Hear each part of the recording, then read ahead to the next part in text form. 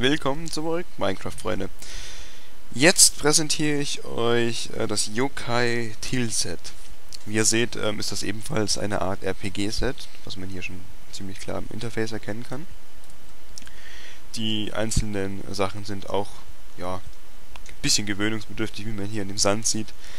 Ähm, dieses Texture Pack basiert wieder auf den Maßen 16 auf 16 Leider ist es äh, noch nicht beta-fähig, was man wieder daran sieht, dass hier einfach die Sachen fehlen. Ähm, gut, was lässt sich hierzu sagen?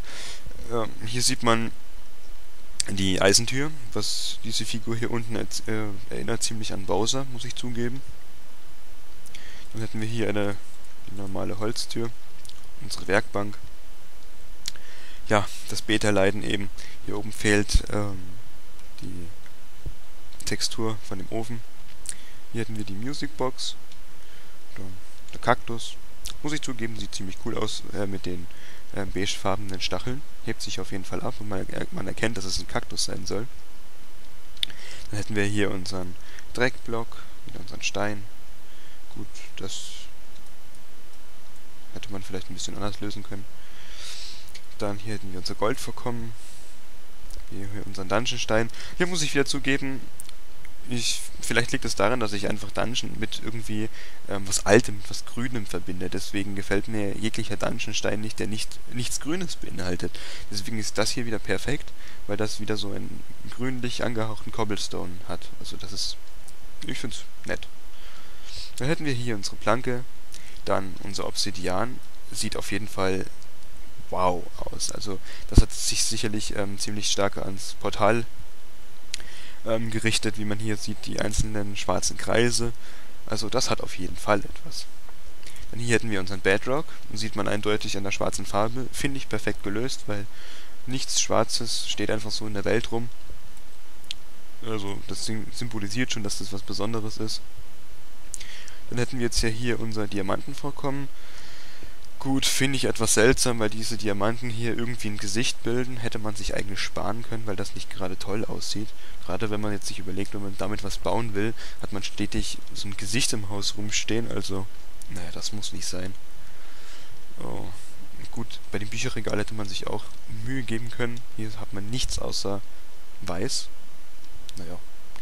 Erinnert mich irgendwie spontan an so eine japanische Schiebetür.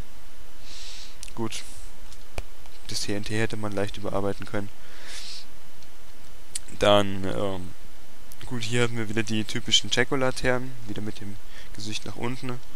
Irgendwie erinnert das an Brot. das muss ich ganz ehrlich sagen, also hätte man sich ein bisschen mehr Mühe geben können. Dann hier die Blumen. Wieder eine schöne Variante, dass wir hier einen Busch haben. Der Busch hätte meiner Meinung nach etwas buschiger sein können. Die Blumen, gut, kann man so lassen. Leider beinhaltet das Texture Pack ähm, keine Feueranimation. Hier steht wieder Fire Text hier. Oder was auch immer das hier unten heißt. Hier heißt es auf jeden Fall nicht. Das wäre unsere Lava. Hier sehen wir, Kotlet hat sich nicht verändert. Dann wäre das wieder unser Glowstone.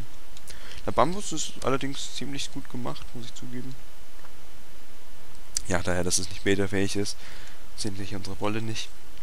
Und ja, von den Porträts hat sich auch nichts geändert. Naja, alles in einem, würde ich sagen. Man kann sich das Texture Pack mal ansehen. Naja, ich würde es jetzt nicht unbedingt weiterempfehlen. Kann man sich doch noch ein bisschen mehr Mühe geben. Okay, dann ähm, zeige ich euch doch gleich das letzte Texture Pack. Bis gleich. Einen kleinen Nachtrag möchte ich dennoch hinzufügen, das ist mir gerade eingefallen. Das Interface. Das ähm, erinnert doch ein bisschen an Zelda, muss ich zugeben, an A Link to the Past, mit diesem ganz großen schwarzen Inventar, wo man die Gegenstände einzeln drin hat. Ähm, fügt sich jetzt meiner Meinung nach nicht so gut hinein, weil es sieht dann doch etwas, ich sag mal, bedrohlich aus. Man meint, wenn man so eine Kiste aufmacht, oh nein, da kommt ein schwarzes Loch entgegen. Also, ist jetzt nicht so mein Fall. Hier auch, hier vom Crafting-Feld hat sich nichts getan hätte man ruhig, wie hier in der äh, Steam Pack Version, hätte man ruhig einen neuen Hintergrund belegen können. Also, hätte man auf jeden Fall noch was draus machen können. Und gut, das war der Nachtrag. Also dann, äh, bis gleich.